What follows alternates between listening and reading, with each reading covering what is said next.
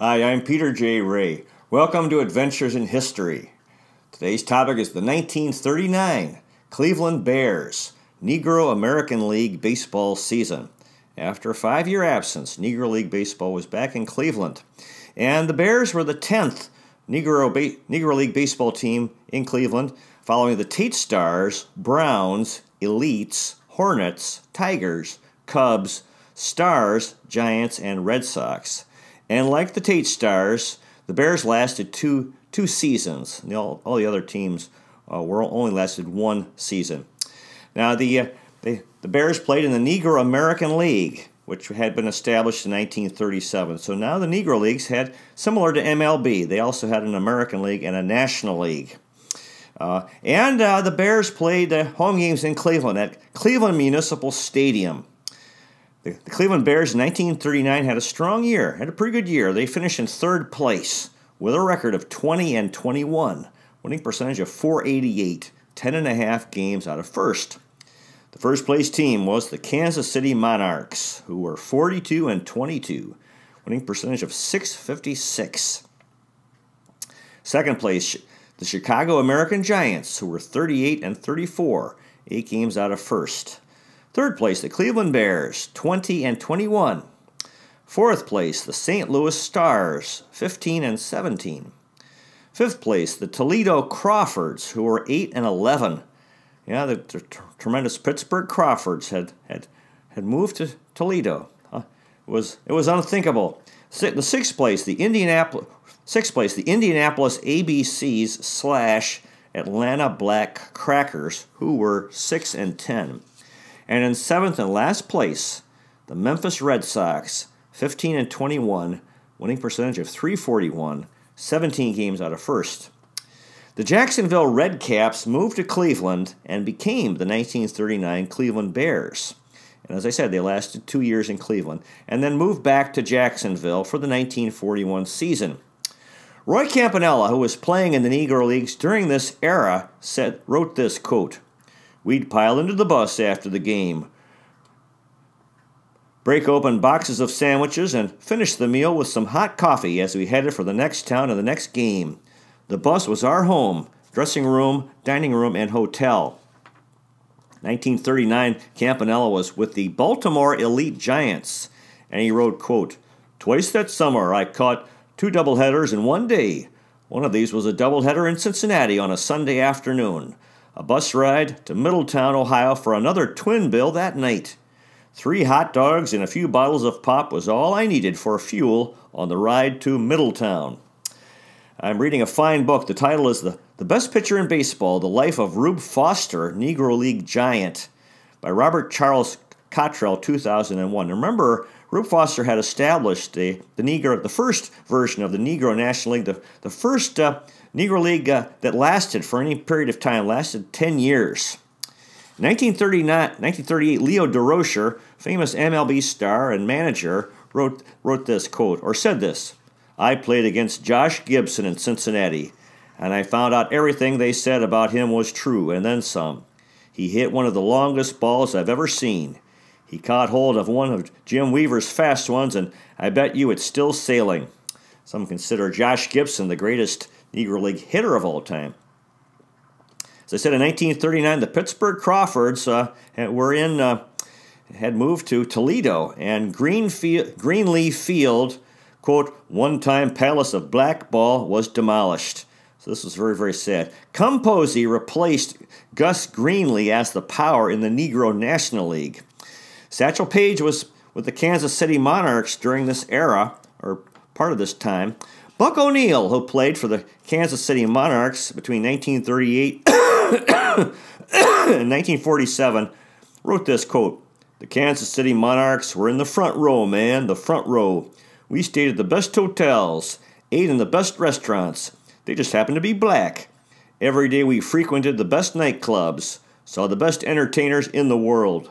and these included Cab Calloway, Charlie Parker, and Duke Ellington. Tremendous success of the Kansas City Monarchs is, is a, ma- a major reason why the Negro League uh, Hall of Fame is in Kansas City.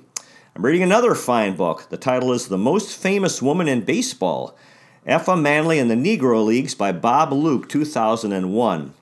Effa and her husband Abe Manley were the owners of the Newark Eagles in the Negro National League from 1936 to 1948.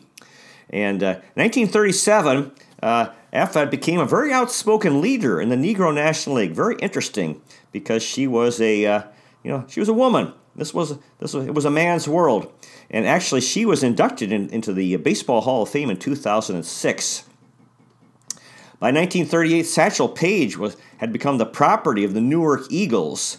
Uh, but he uh, decided to play in Venezuela and Mexico to make more money. Paige wrote, wrote, wrote a letter to the Eagles and said he'd play for them if M- Effa Manley would be, would be his sideline girlfriend. And there was no response from the team. Negro League teams were playing about 200 games a year. Two thirds of them were non league games against white semi pro teams. This is why the Negro League statistics were, are so meager because uh, you know they kept track of stats of, uh, of, of league games, but most of the games they played were not uh, were, were non-league against white semi-pro teams. As I said, there was no Negro League team in Cleveland between 1935 and 1938. The 1939 Bears home open, opener was at Cleveland Municipal Stadium, and, and Cleveland Mayor Harold Burton threw out the first pitch. The Bears won a doubleheader, 5 to 3 and 5 to 1. The Bears were in first place at the end of May. Lem Williams, general manager, gave away 50 box seat tickets for a June 17th game. Now, they were they were reserved for the first 50 women to ask for them at Boyd's Music Store on Cedar Avenue in Cleveland. Now, the East West All Star team in 1939, there were four Bears made the team, including Leo Preacher Henry, Parnell Woods, Raymond and Raymond Smoky Owens, and the manager Alonzo Mitchell, who was a coach.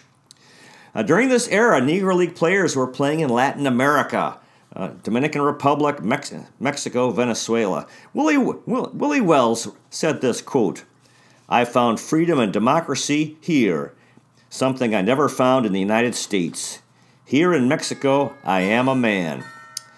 Now, the downfall of the Pittsburgh Crawfords, one of the great teams, so uh, can be traced to 1937 when, when there was an exodus of players, including Satchel Paige, or led by Satchel Paige, to the Dominican Republic to play on a team owned by the dictator Rafael Trujillo, the Los Dragones de Ciudad Trujillo.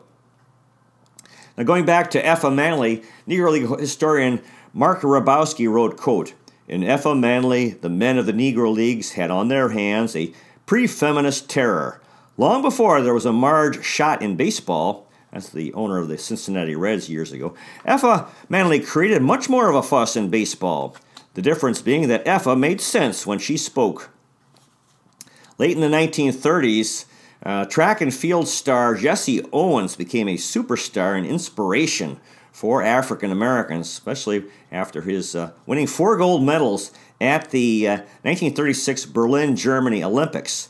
And another superstar and inspiration was, was heavyweight boxer, boxing champion Joe Louis, who defeated quite a few uh, white uh, opponents to, and to, to, to, become the champion and to retain his championship. So these two uh, Jesse Owens and, and Joe Louis were very, very inspiring for African Americans. The Negro, League, the Negro American League had been established in 1937. It lasted t- until 1962. And John L. Wilkinson, the owner of the Kansas City Monarchs, was the founder of the league. He was white, actually. So, as I said, by 1937, starting in 1937, there were the two leagues the Negro American League and the Negro National League. The owner of the Cleveland Bears in 1939 was J.B. Greer. Not much information on him. The general manager was Lem Williams, who was unable to get a lease at League Park, which would have been better because it was closer to the population centers and uh, in Cleveland. And he was fired at the end of the season. Williams was a longtime Cleveland promoter. He was a former official with Rube Foster's Chicago American Giants in the 1920s. In 1937, he was considered uh, to be president of the Negro National League. He worked for various Cleveland Negro League teams and was a play- player himself in the Negro Leagues between 1907 and 1914. Lem Williams. The player manager for the 1939 Bears was Alonzo Mitchell, who batted 235 with four hits. He scored a run, had a double, an RBI in eight games. He also did a little pitching, was 0 1 with an ERA of 2.45. Three games, 11 innings pitched, and five strikeouts. They called him Bo, Fluke, and Hooks. He was a pitcher, first baseman, outfielder, and manager during his career. Mitchell played for the Baltimore Black Sox, Atlantic City Bacharach Giants, Harrisburg Giants, Akron Tyrites, Jacksonville Redcaps, Birmingham Black Barons, Atlanta Black Crackers, Indianapolis ABCs, and the Cleveland Bears between 1923 and 1941. He was a sidearm curveballer, also bow legged. Mitchell was born in 1905 in Jacksonville, Florida, and died in 1963 in Jacksonville at age 58. He went to Morris Brown College in Atlanta, Georgia. For his career as a pitcher, he was 33 and 10 with an ERA of 6.15. 10 games, 4 starts, a, sh- a shutout, a save, 105 and a third innings pitched, and 36 strikeouts. So these are in league games. And who knows, his stats in, in non league games must have been much greater, although they didn't keep track of them. As a hitter, Mitchell batted 253 with 21 hits. He scored 9 runs, had 3 doubles, a triple, 5 RBIs, walked 5 times in 54 games. And as a man- manager, he won 65 games, lost 104 for a winning percentage of 385. Alonzo Mitchell. now, the uh, everyday lineup Henry Turner was the catcher. They called him Dad uh, or Flash. Turner batted 393 with 33 hits. Scored 11 runs, 3 doubles, 5 triples, a home run, 21 RBIs, 2 stolen bases, 7 walks in 23 games. During his career, Turner was a catcher, second baseman, first baseman, left fielder, and right fielder. Turner played for the Jacksonville Redcaps, Cleveland Bears, Homestead Grays, Harrisburg St. Louis Stars, and Cleveland Buckeyes between 1935 and 1943. He was an exceptionally hard hitter, very tough in the clutch. He was a cleanup hitter for the Bears in 1939. Turner was born in 1913 in Lloyd, Florida. For his career, he batted 274 with 82 hits. He scored 42 runs, had 12 doubles, 8 triples, a home run, 48 RBIs, 4 stolen bases, 33 walks in 88 games. Henry Turner. Mint Jones was at first base. His given name was Ernest. They called him Mint. He batted 268 with 19 hits. He scored 10 runs, had 3 doubles, 7 RBIs, a stolen base, 5 walks in 21 league games. Jones played for the Jacksonville Redcaps, Philadelphia Stars, and Cleveland Bears between 1934 and 1941. He was noted for making a long stretch on close plays at first base, as well as on errant throws, and he batted lead, lead off. Jones batted, was born in 1910 in Tampa, Florida. For his career, he batted 279 with 48 hits. He scored 19 runs, had 5 doubles, 25 RBIs, 2 stolen bases, 11 walks, and 48 league games. Mint Jones. Al Frazier was at second base. They called him Cool Papa.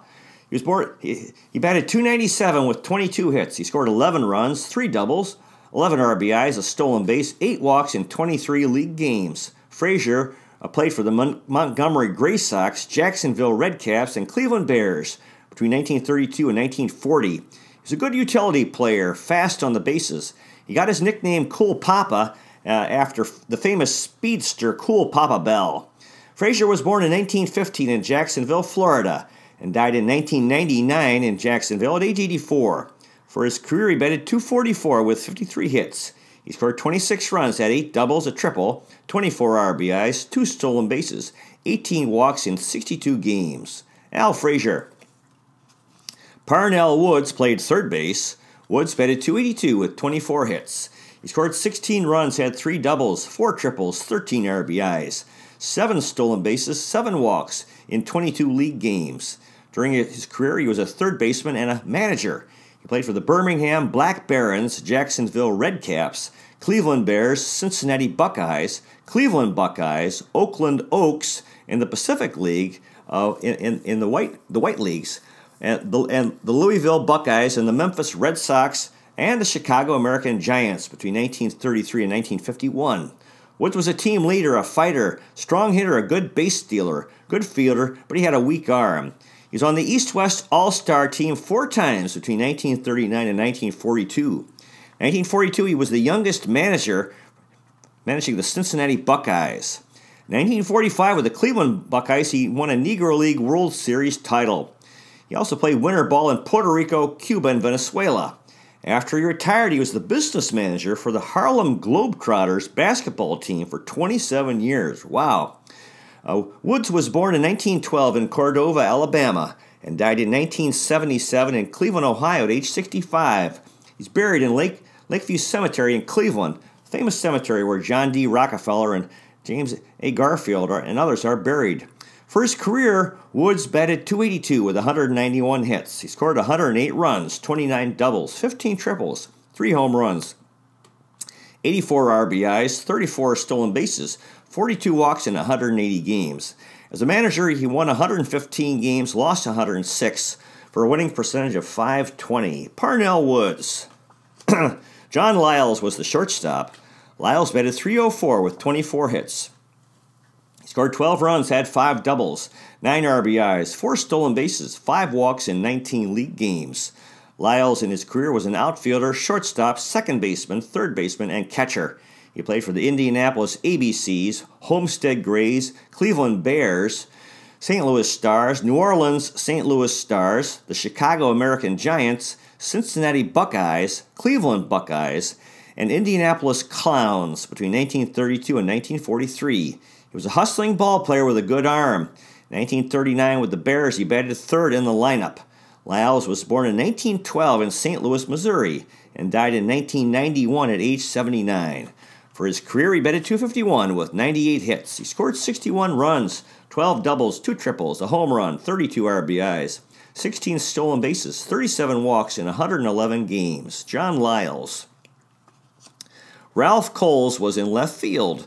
They called him Askari and Punjab. Coles batted 368 with seven hits. He had a double, three RBIs, three walks in eight games. During his career, he was a left fielder, center fielder. He played for the Cleveland Bears, Jacksonville Redcaps, Ethiopian Clowns, Cincinnati Clowns, and Indianapolis Clowns between 1939 and 1946. So he was a rookie in 1939. He batted sixth in the order. Coles was, was born in 1913 in Kissimmee, Florida, and died in 1984 in Philadelphia, Pennsylvania at age 71. For his career, he batted 190 with 12 hits. He scored 7 runs, had a double, 7 RBIs, a stolen base, 9 walks in 22 league games. Ralph Coles. Johnny Ray was in center field. Ray batted 231 with 18 hits. He scored 18 runs, had 3 doubles, a triple, four RBIs, two stolen bases, 10 walks in 21 games. During his career, Ray played center field, left field, second base, third base, and catcher. He played for the Montgomery Gray Sox, Pittsburgh Crawfords, the Claybrook Tigers, Birmingham Black Barons, Chicago American Giants, Cleveland Bears, Jacksonville Redcaps, Cincinnati Clowns, Cincinnati Indianapolis Clowns, and the Kansas City Monarchs.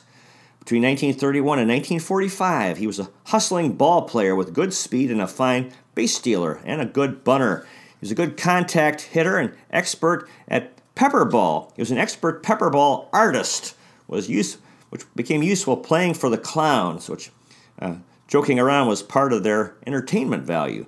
Ray was born in 1911 in Williamson County, Tennessee, and died in 1957 in Nashville, Tennessee at age 45. Tragic. For his career, Ray batted 227 with 106 hits. He scored 77 runs, had four doubles, six triples, 27 RBIs, seven stolen bases, 68 walks in 136 games. Johnny Ray. Duke Cleveland was in right field. Playing, playing for Cleveland. His given name was Howard. They called him Duke.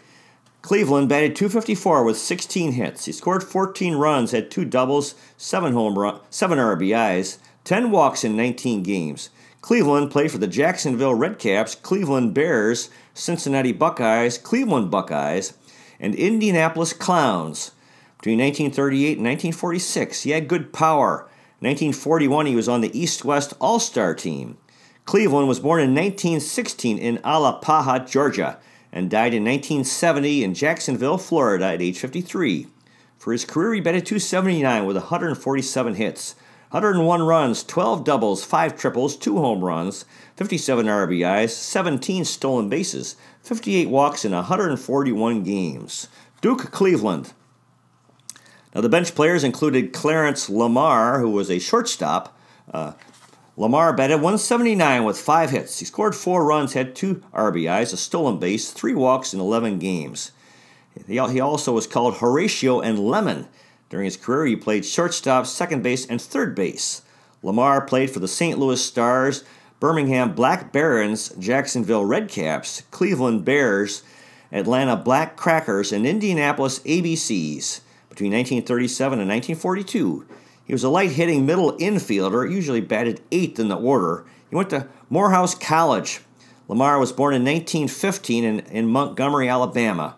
For his career, he batted 241 with 79 hits. He scored 41 runs, had 11 doubles, 4 triples, a home run, 37 RBIs, 11 stolen bases in 101 games. Clarence Lamar. Walter Birch was a spare catcher.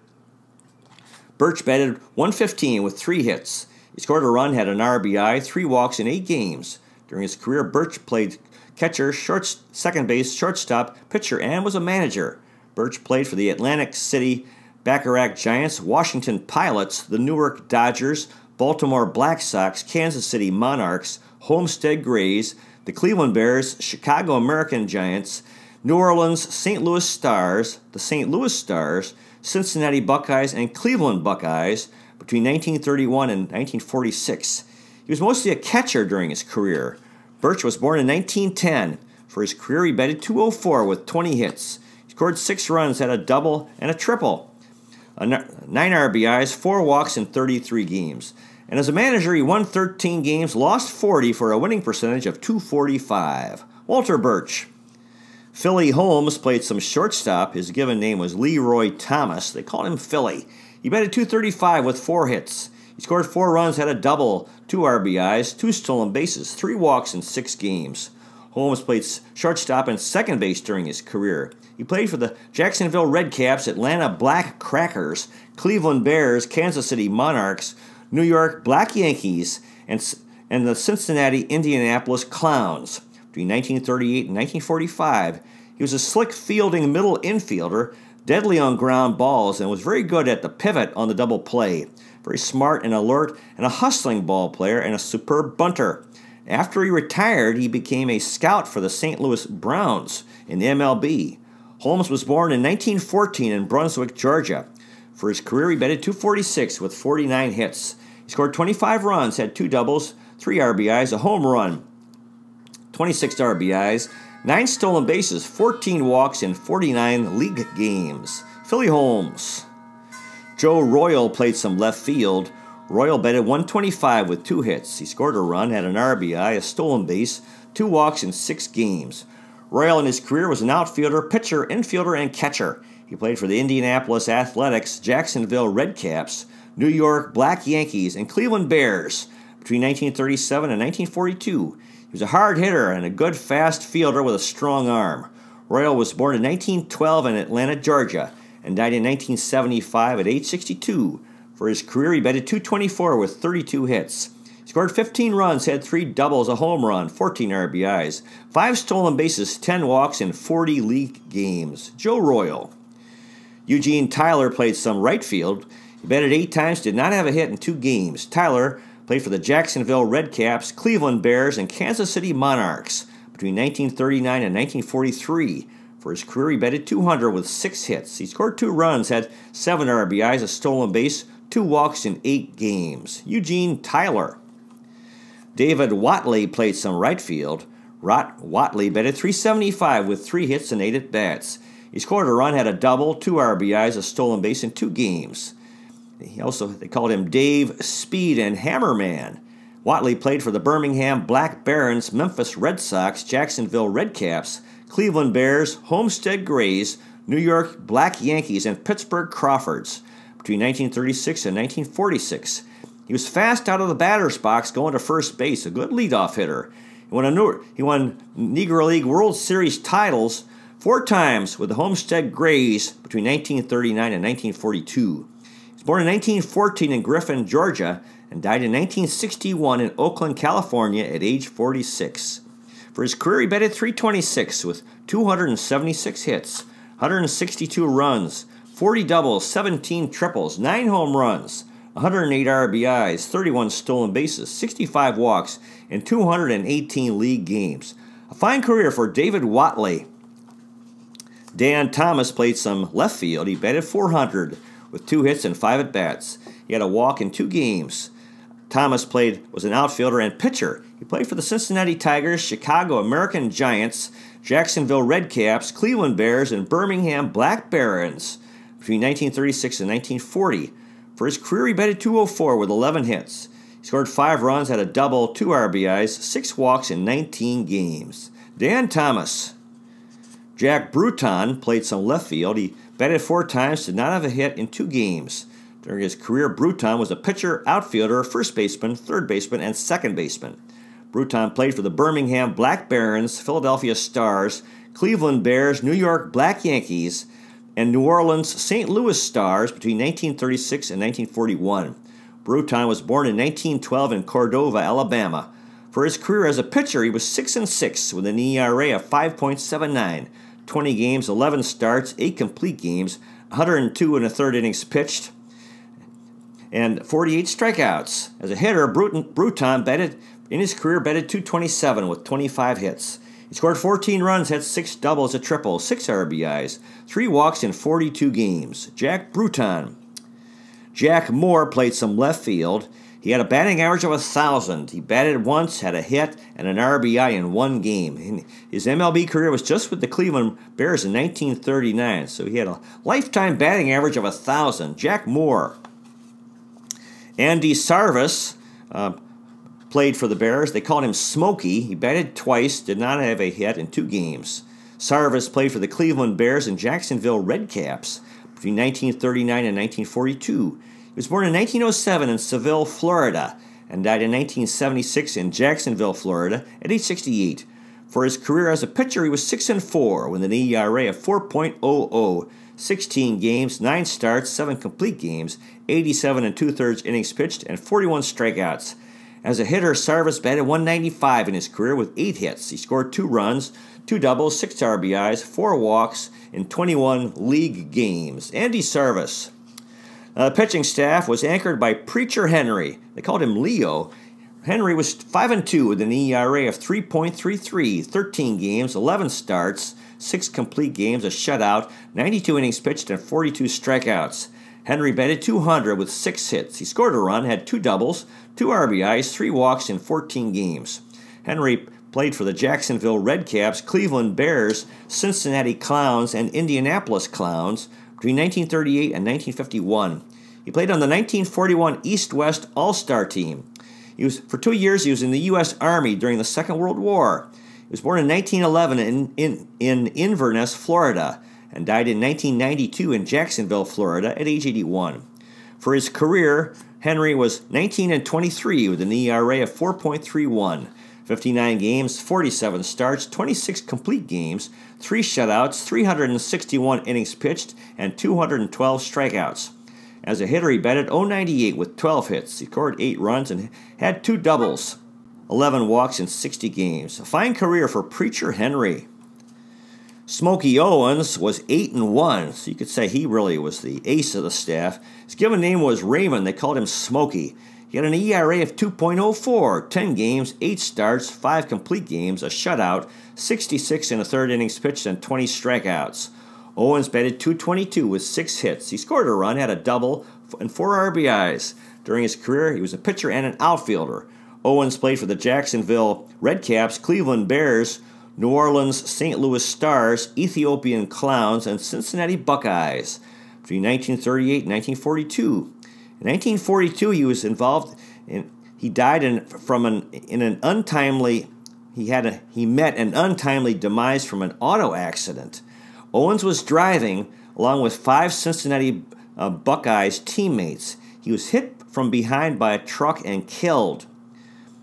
Uh, Ulysses Buster uh, Brown was also killed in that horrible accident. Eugene Bremer, Herman Watts were hospitalized.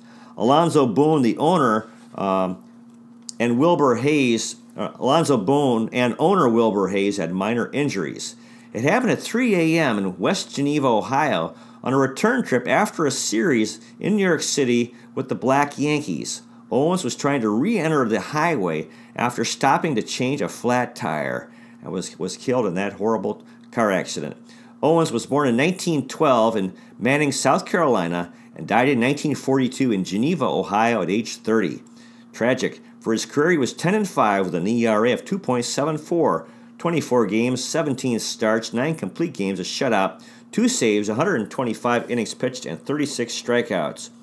Owens in his career batted 220 with 11 hits.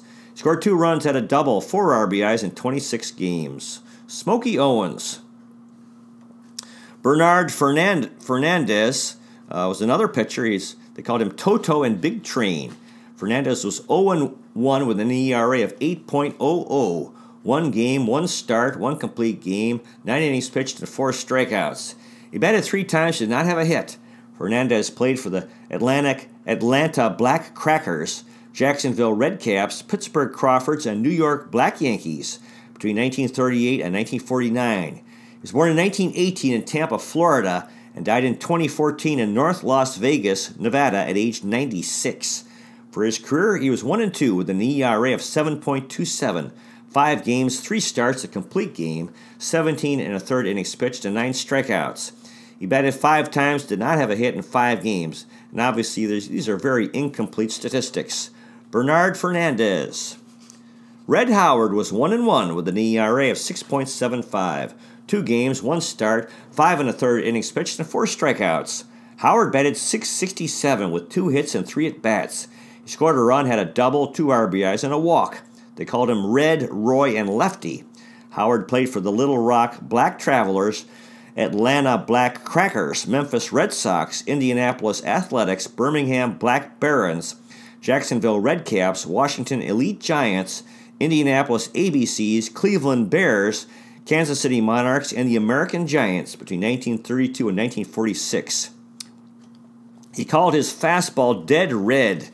1938 38 in the Negro American League, he won a second half title with the Atlanta Black Crackers. They said he was as wild as a jackrabbit. Uh, Howard was stocky, a fair hitter. He was born in 1910 in Birmingham, Alabama, and died in 1969 in Birmingham at age 59. For his career, he was 6 and 9 with an ERA of 5.37, 27 games, 13 starts, 4 complete games, 2 saves, 105 and 2 thirds innings pitched, and 65 strikeouts. Howard batted 263 in his career with 15 hits scored seven runs, had two doubles, a home run, 11 RBIs, a stolen base, four walks in 37 games. Red Howard, player by the name of Davis, no first name indicated, he was 1 and 1 with an ERA of 54.00. One game, one start, two thirds of an in- innings pitched, and four earned runs allowed. Davis did not bat. His career was just with the Cleveland Bears in 1939. A guy named Davis Another player named Andrews, again, no first name given, he was 0 1 with an ERA of 67.50.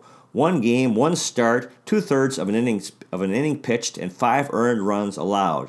He did not bat, and again, in his career with the, was just with the Cleveland Bears in 1939. Andrews, Alonzo Boone uh, had no decisions and an ERA of 4.50. Two games, six innings pitched, and three strikeouts. Boone batted twice, did not have a hit.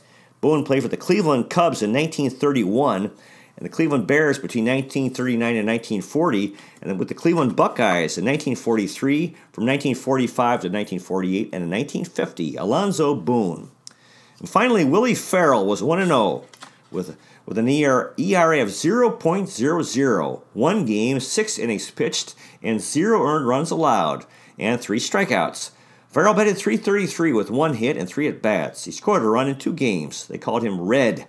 He's a pitcher outfielder. He played for the Birmingham Black Barons, Jacksonville Redcaps, Cleveland Bears, Homestead Grays, Chicago American Giants, and Cincinnati Clowns between 1937 and 1943. He won pennants with the Homestead Grays from 1939 to 1940. His middle name was Trueheart. For his career, he was 11 and 11 with an ERA of 3.81, 30 games, 20 starts, 14 complete games, 2 shutouts, 182 innings pitched, and 67 strikeouts. Ferrell in his career batted 260 with 32 hits. Scored 12 runs, had two doubles. Uh, uh, 11 RBIs, four walks in 52 games, two, uh, along with two triples. Willie Ferrell. Now there were two champions in 1939 in the Negro Leagues. The uh, in the Negro American League, the Kansas City Monarchs defeated the St. Louis Stars four games to one in the championship series. And then and, and in the Negro National League, the Baltimore Elite Giants defeated the Homestead Grays three games to one in their championship series. There was no World Series played, so there so there were these two champions of the Negro Leagues. The top hitter in the Negro Leagues in 1939 was Josh Gibson of the Homestead Grays, and the top pitcher in the Negro Leagues was Hilton Smith of the Kansas City Monarchs. So that's the story of the 1939 Cleveland Bears. They had a pretty good year. Uh, year to be proud of. God bless the fellows who played for the Cleveland Bears in 1939 and everyone else associated with the team, including the fans, especially the Civil War veterans, Spanish American War veterans, and First World War veterans. Captains of the Cuyahoga, lovers of Lake Erie, Terminal Tower Power, fans of the Free Stamp statue and the Fountain of Eternal Life, Euclid Avenue Electricity, Severance Hall Stalwarts, Cleveland Museum of Art uh, enthusiasts, uh, Christmas Story House happy people, uh, Rock and Roll Hall of Fame and Museum enthusiasts, First Energy Stadium friends, Progressive Field pals, Quicken Loans Arena enthusiasts, Tribe, Browns, Cavs, Monsters, and Gladiators Rule, Cleveland, City of Champions. Cleveland is the best location in the nation on the north coast of America. New York is the Big Apple. Cleveland is a plum. Before you know it, it'll be opening day 2019 for the Cleveland Indians. Go Tribe! Thank you so much for watching. I really appreciate it. You might consider checking out our website, Adventures in History, with Peter J. Rea at peterjrea.com. Thanks again so much for watching. I really appreciate it. God bless you. Take care, and I'll see you next time.